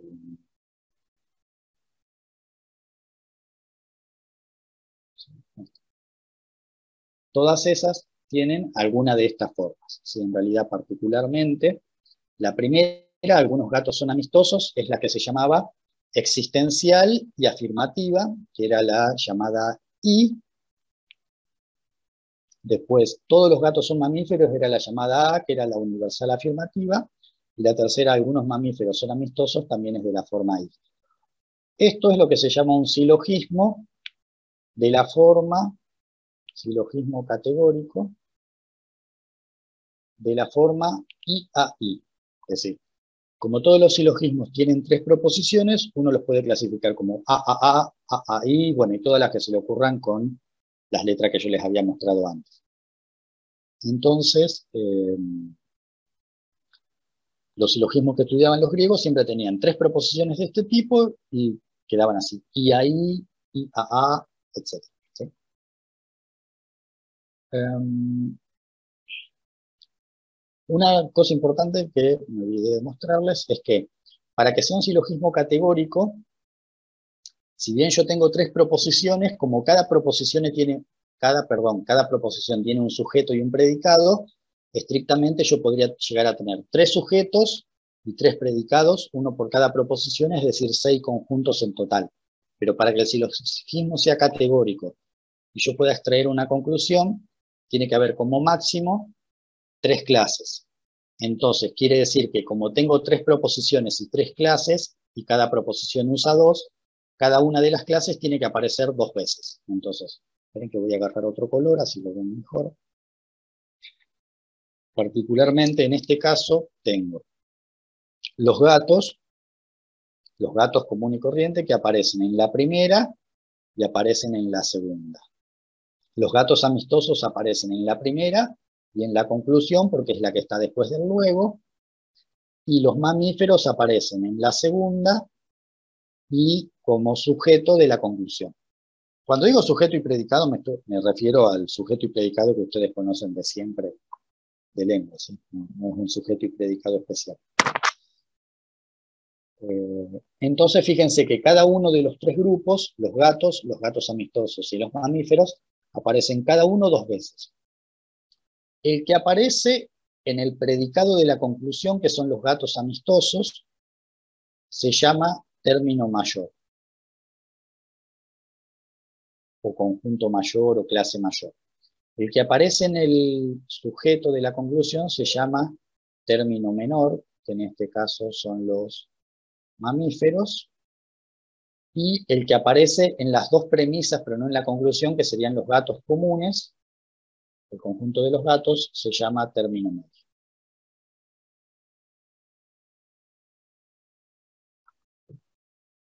Eh, Como yo tengo eh, primero, como dijimos que había cuatro tipos de proposiciones, eh, como había cuatro tipos de proposiciones, A, E y O, y en un silogismo categórico yo tengo tres proposiciones, podría tener cualquiera de los cuatro en la primera, cualquiera de los cuatro en la segunda, cualquiera de los cuatro en la tercera, o sea que hay 64 formas distintas o combinaciones de silogismos. Y a su vez, Fíjense que en este caso, el término medio, que son los gatos, aparecen en ambos casos como eh, sujeto. O sea, es el sujeto de esta oración y es el sujeto de esta oración, pero podría ser que sea ambos sujetos, ambos predicados, sujeto y predicado, o predicado y sujeto. Como ahí tengo cuatro combinaciones más, entonces cuando uno considera esta 64 con las cuatro combinaciones posibles donde puede aparecer el término medio, uno llega a la conclusión que existen en total 256 silogismos categóricos distintos.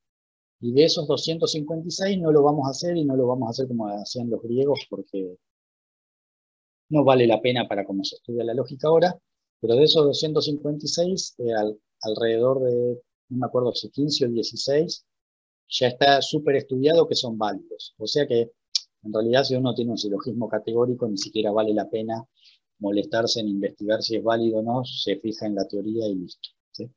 Simplemente lo que les quería mostrar es cómo lo hacían en la época de los griegos, donde viene el nombre de categoría, pero sobre todo la diferencia fundamental que en esta parte de la lógica, uno en lugar de trabajar con un gato, con un gato amistoso y con un mamífero, trabaja con toda la clase completa, ya sea con algunos o, todos, pero con el conjunto entero de los gatos, de los gatos amistosos, de los mamíferos.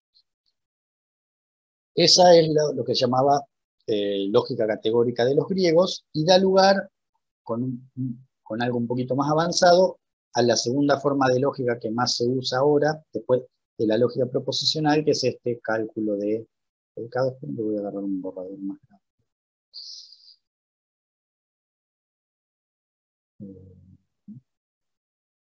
que es el cálculo de predicados. Ya falta poquito, quédense tranquilos.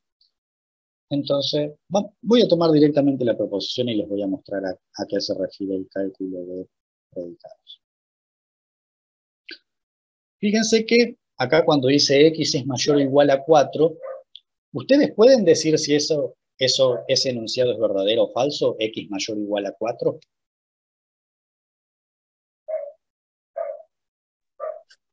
No porque no conozco X. Perfecto, no porque no conocemos. Entonces, esta es una de las cosas con las que no puede tratar la lógica común. Ahora, como esto es una oración, tiene un predicado que en este caso es, eh, perdón, un predicado no, voy a tener que volver a la escuela secundaria, un sujeto, el sujeto es X, y tiene un predicado que es, eh, es mayor o igual a 4. Esto sería el predicado. Entonces, si nosotros ponemos en forma genérica el predicado, vamos a decir que eh, el predicado eh, para un determinado elemento X, yo digo, lo pongo en forma de función, digo, P de X va a significar X es mayor o igual a 4.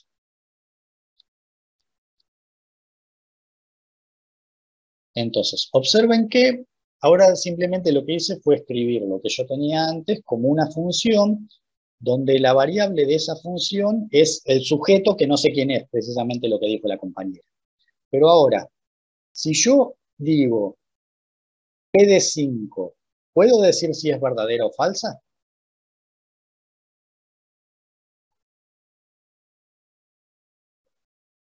Como yo estoy diciendo P de 5 en lugar de P de X, lo que estoy diciendo es que 5 tomaría el lugar de X. ¿sí?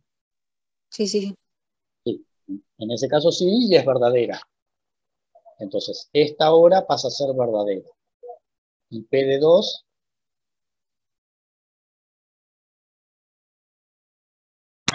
Falsa. Entonces, ¿qué es un predicado? Un predicado es una función de lógica que yo no puedo saber su valor de verdad hasta que no le asigne un valor al sujeto.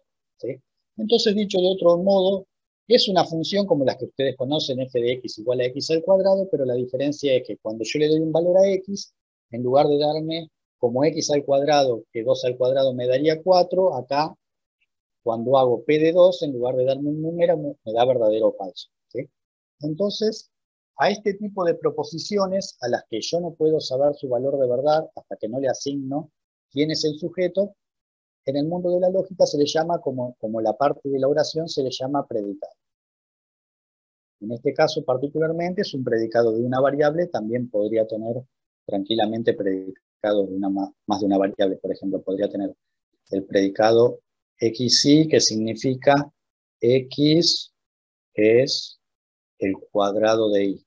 O sea, podría significar toda esta oración. Entonces, acá para poder decir si es verdadero o falsa, tengo que asignarle dos valores, uno a x y uno a y. Pero bueno, entonces esto es lo que en el mundo de la lógica se le llama predicados. Pero fíjense que si yo digo que el sujeto este X podría ser, por ejemplo, cualquier número entero, es decir, yo podría ser P de menos 18, P de 5, P de 0 o P de 1.500.000, entonces, al ponerlo como función, como mi sujeto puede ser un conjunto, yo puedo manejar conjuntos como estábamos haciendo, haciendo recién con las proposiciones categóricas. Entonces, agrega la complejidad de que voy, hasta que yo no sepa quién es el sujeto, no puedo decir si es verdadero o falso, pero me permite trabajar con un conjunto entero. ¿Hasta ahí me siguen la idea? Sí. Entonces, cuando uno tiene un predicado, existen dos maneras de convertirlo en una proposición. Entonces, eh, ¿cómo convertir un predicado, un predicado en una proposición? Eh, el primer modo es asignar un valor al sujeto, que es el que acabamos de ver asignar un valor al sujeto. Pero ahora, ustedes me pueden preguntar, ¿y qué ocurre si yo quisiese referirme a todos los números enteros? Es decir, yo quiero decir la proposición, todos los números enteros son mayores o iguales que 4. Está bien, es falso, no importa eso, porque no me interesa si es verdadero o falso, sino cómo escribo yo todos los números enteros, pero sin tener que poner todos los números enteros, son mayores o iguales que 4, con esta proposición. Bueno, para eso ¿Con se inventaron restricción? lo que se llama... ¿Perdón? ¿Con alguna restricción? Claro, más que una restricción, es en realidad la misma palabrita que yo usé en las proposiciones categóricas que se llama cuantificador. Pero si querés, lo podés pensar como que es una especie de restricción. En el mundo de la lógica, las dos cosas que me piden, me permiten referirme a todo partes de un conjunto se llama cuantificar. Y existen dos tipos. Uno es el cuantificador, cuantificador universal, que básicamente para decir eh, todos los eh, enteros son mayores o iguales a 4, lo que hace es hacer mayor o igual a 4, lo vuelvo a llamar P de X, como, como hicimos recién. Y ahora, ¿cómo decimos todos los enteros? Se coloca este símbolo. Para todo X. Esto significa para todo, y quiere decir que lo que yo voy a decir después de los dos puntos vale para todos los elementos que están en esta clase o en este conjunto. Entonces, si yo pongo para todo x que pertenece a los enteros p de x, lo que estoy diciendo es, para todo número entero, lo que sea p de x, que en este caso es mayor o igual a 4. Quizás se lo habían cruzado en algún libro ese símbolo, lo habían visto en algún lado. O es la primera vez que lo están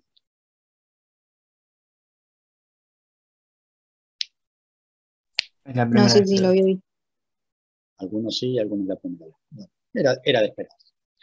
Bueno, eso es lo que significa el sim. Esto es lo mismo que decir todo es P, ¿sí? como hacíamos antes. Sí, exacto. Eh, eh, era muy probable que en alguna matemática, va, dependiendo de qué escuela vengan, lo hayan, lo hayan visto. Acá yo tendría dos clases que son la clase de los enteros y la clase de los números mayores o iguales a 4. Entonces, esta, esta sería una manera de escribir distinto a los griegos. Todo S es P, donde S serían los enteros y P es ser mayor o igual a 4. ¿sí? Esta es en realidad la manera en que se usa en la actualidad porque en realidad es mucho más poderosa. Ah, una cosa que yo no le comenté, un problema que tienen los silogismos categóricos de los griegos es que tienen esa restricción, que tienen que ser exactamente tres proposiciones categóricas y con tres términos. La gran mayoría de los razonamientos de matemáticas suelen tener más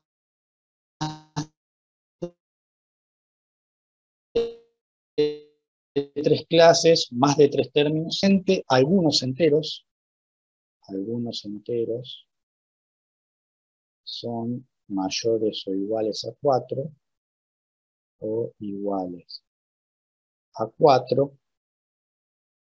Entonces existe otro que se llama cuantificador, cuantificador existencial.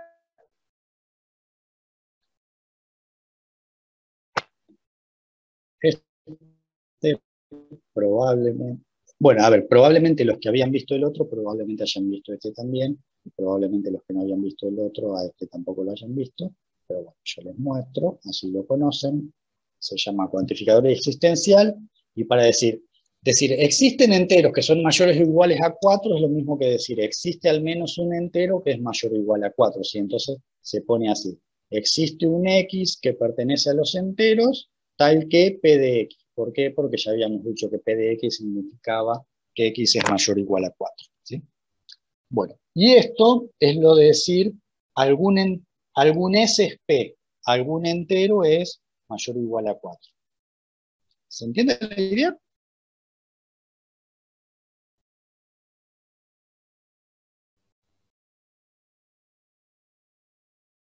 ¿Sí?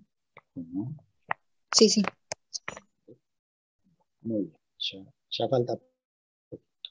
Eh, volvamos un cachito de lo que estábamos. Bueno, esto que está acá es una explicación de lo que recién les estaba diciendo.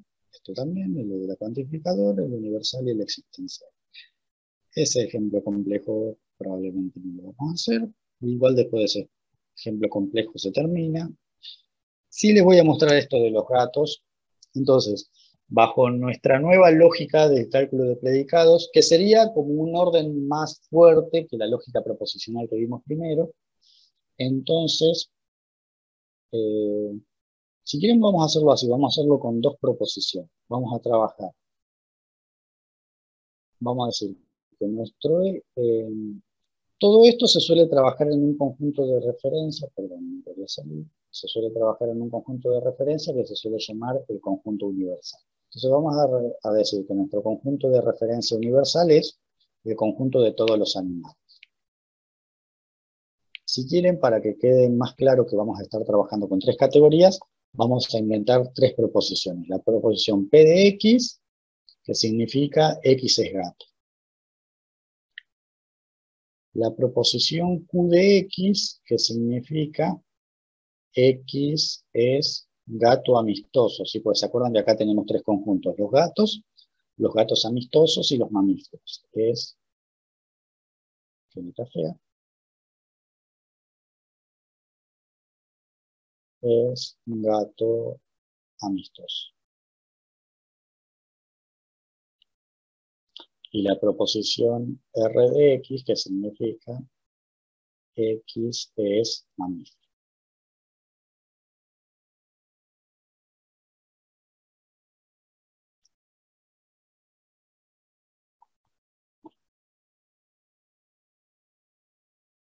Entonces, vamos a intentar escribir con eso que aprendimos recién este razonamiento. Algunos gatos son amistosos, dijimos que era lo mismo que decir que existe al menos un gato que es amistoso. Entonces, esto lo que nos está diciendo es que existe un elemento X, cuando uno no pone nada acá como X pertenece, significa que se refiere al universo del discurso con el cual está trabajando implícitamente, entonces Aquí lo que estaríamos diciendo es que X es un animal. Entonces, existe un animal tal que, como es, algunos gatos son amistosos, quiere decir que existe al menos un gato que es amistoso. O sea, un individuo, un animal que es gato y es amistoso. O sea, P de X significaría X es gato y Q de X, X es amistoso. Entonces, esta sería la representación lógica de esta primera. ¿Qué les parece? ¿Se entiende? Tiene sentido. Obviamente que esto les va a resultar un poco extraño porque debe ser la primera vez que lo están viendo, muchos, pero Sí, la verdad es que es un montón de información. Sí, Con toda la sinceridad, llevo las últimas dos horas no entendiendo qué está pasando. ¿no? Ok. Igual, a- igual ahora le voy a, le voy a dejar a, a Pablo la grabación para que luego puedan, puedan repasarla. Pero al menos a un nivel in- intuitivo, ¿me van siguiendo qué es lo que dije acá? Sí, intuitivo, sí. Sí, sí, pasa que después acordarse de qué letra. Bueno. Eh, todos los gatos son mamíferos sería, el todo dijimos que era el simbolito este que significaba para todo, y todos los gatos son mamíferos, acá significa que si es gato, que sería ser P de X, acá no solamente Y es mamífero, sino que, como dice, todos los gatos son mamíferos, si es gato, yo puedo concluir sin ningún lugar a dudas que es mamífero. Entonces, cuando, cuando es así, todos los gatos son mamíferos, por más que parezca un i, cuando dice todos, eso significa una implicación. ¿Por qué? Porque como me garantiza que todos los gatos son mamíferos, yo puedo concluir que si es gato, también es mamífero. Entonces se representa con una implicación. Pero ves que son símbolos de la lógica que ustedes conocían. Luego viene la conclusión, que es, algunos mamíferos son amistosos. Quiere decir que existe al menos un animal que es mamífero, ah, perdón, acá puse la Q, pero era mamífero. Era, mamífero era la R. Es mamífero y es amistoso. ¿sí? Entonces, esta sería una traducción al mundo de la lógica de este razonamiento. ¿Sí? Y listo. ¿sí? O sea, esto por supuesto que no me voy a... Por supuesto que hay técnicas para ver si este tipo de razonamientos es válido o no, pero involucra usar unas reglas de inferencia que no son las que les mostré antes, sino que son específicas para el cálculo de predicado, que básicamente lo que hacen esas reglas de inferencia es, dependiendo de que sea un existe o un para todo, existe una manera distinta de convertir la proposición a una proposición eh, de las anteriores, de las que habíamos usado en lógica proposicional, es decir, básicamente se convierte en cada una de, de estos predicados a lógica proposicional, se resuelve el razonamiento parecido a como hicimos antes en la lógica proposicional y luego se vuelve a convertir la conclusión con una regla de inferencia especial a un predicado. Pero bueno, nunca estuve en planes mostrarle eso, nada más se los comento. Eh, Al final va a tomar esto en el examen final de TIO. eh, me dijo Pablo que sí, que hay algunas preguntas de esto. Obviamente que no les van a hacer demostrar nada, pero sí deben ser de, de corte conceptual, no de todo lo que fuimos charlando, no sé qué significa una implicación, qué significa que un razonamiento sea válido, todas esas cosas. ¿sí?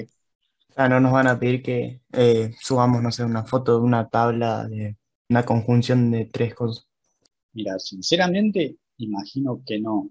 Pero también es cierto que, como les comenté al principio, en realidad yo ni siquiera formo parte del, del plantel docente del introductorio. O sea, hubo un problema que necesitaban alguien que dé esta clase y me contactaron por lo que yo doy en primero. Es más, yo en el campus, por ejemplo, no tengo el mismo nivel de acceso que ustedes como alumnos. Así que no, no tengo mucha, mucha idea, pero yo imagino que si tienen a, algún modelo que hayan tomado en años anteriores, eh, se va a referir a eso. ¿sí? Eh, en, si no, en, en todo caso, por ahí escribirla a los docentes con los que trabajen usualmente en esta materia. Eh, lo, que sí me contestó Pablo es que, es que sí eh, podía haber preguntas de esto.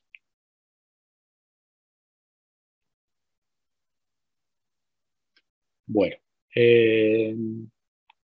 llegamos a las tres horas, no lo quiero hacer pasar de, de golpe y probablemente lo, otro que pensaba hacer iba a ser medio demasiado, así que eh, no se los voy a mostrar. Básicamente lo que les iba a mostrar es para que no se queden con la idea de que, porque si no, como les mostré este ejemplo de los gatos, ustedes me pueden decir qué diferencia hay entre la lógica de predicados y hacerlo como lo hacían los griegos hace dos mil años. Bueno, y acá había un ejemplo más complejo que no se podía representar con lo que los griegos hacían. Igual no les iba a mostrar cómo se muestra la validez, nada más les iba a mostrar la traducción, pero probablemente no valga la pena. Lo mismo que acá, por acá había otro ejemplo de, eh, de un razonamiento que tenía cuatro o cinco proposiciones. Eh, o sea, con la tabla es lo mismo que hicimos. Este se los iba a mostrar cómo trabajar con reglas de inferencia como no está, cuando no estaba puesto así, como ese silogismo disyuntivo que nos encontramos. Pero no, probablemente o sea, una que ya llegamos al tiempo y no los quiero hacer quedar de gusto y otra por ahí los voy a confundir más que... Eran solamente para mostrarles, no porque ustedes tuvieran que saber eso. Los que estudian sistema después ya van a tener el placer y no les va a gustar. Eh, bueno, muy bien. ¿Alguna pregunta que me quieran hacer? ¿Algo que quieran que no se haya entendido? ¿Algo que quieran que repita?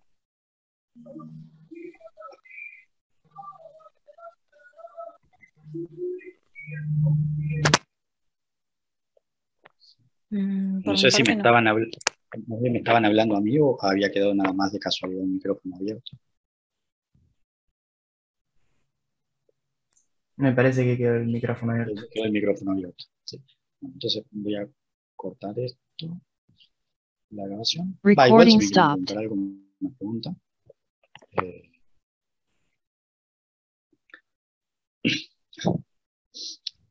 Sí, por, por, o sea, por lo que me dijo Pablo, repasen las cuestiones conceptuales, ¿no?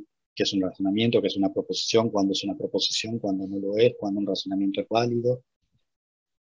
¿Qué hace la conjunción, la disyunción? Todas esas cosas que son un poco más intuitivas.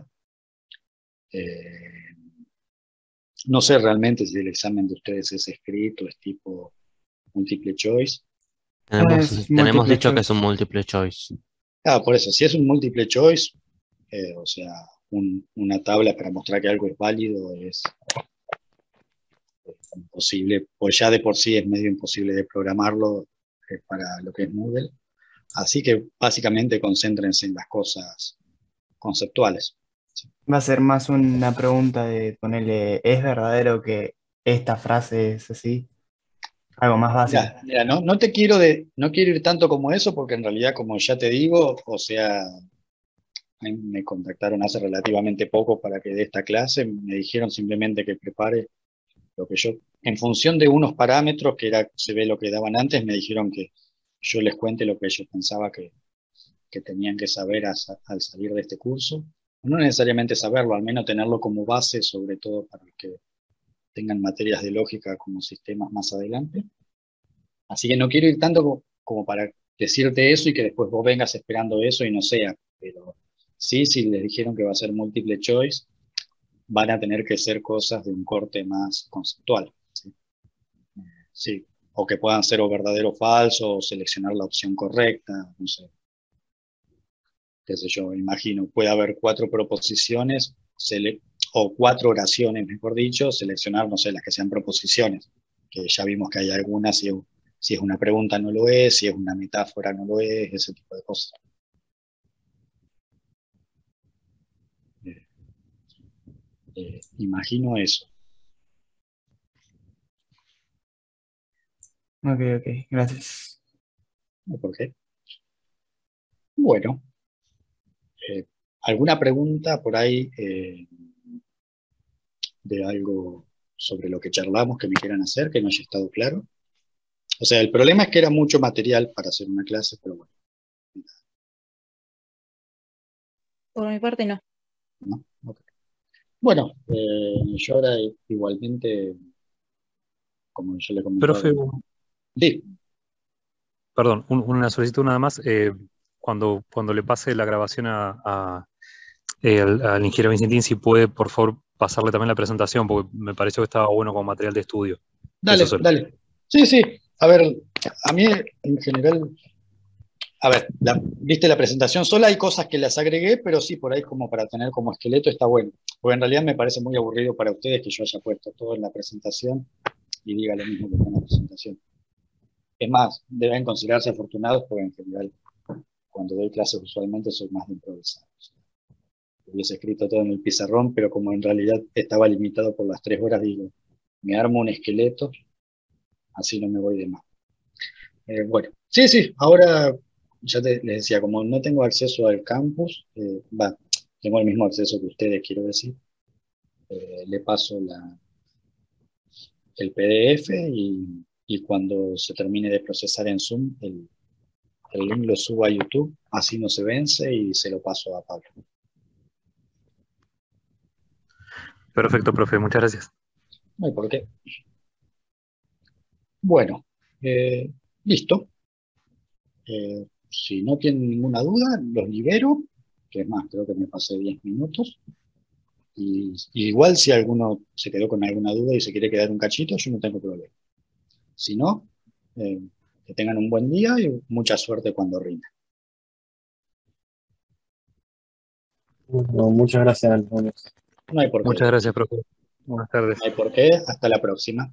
Eh, profe, una pregunta antes de irnos. Sí, O sea, lo que Sí, sí. explicaste hoy, ¿eso también entra en lo que sería el examen ahora del jueves? en la clase de hoy, sí, Listo, sí, sí. Lo que, lo que estábamos charlando es que, como en realidad me contactaron medio de urgencia como para dar esta clase, yo en realidad, en realidad tampoco nunca di acá en el introductorio, no sé qué tipo de, de exámenes le toman, pero si como decían ahí es de corte en múltiple choice, más bien concéntrense en la parte conceptual, ¿no? Que es una proposición cuando el razonamiento es válido, qué hace la conjunción, qué hace la implicación lógica, qué es la lógica proposicional, qué es una proposición categórica, sí. No. Incluso si fuese para entregar, no creo que les tomarían para hacer cuentitas como hicimos con las tablas, ¿sí? O sea, la, la parte de la teoría que vimos.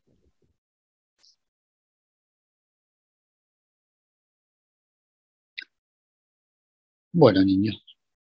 Muy bien. Suerte entonces ahora cuando rinda.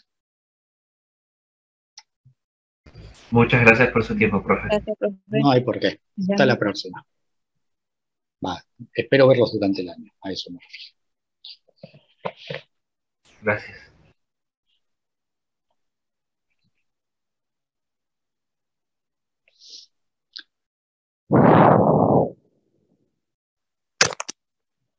Adiós, niños.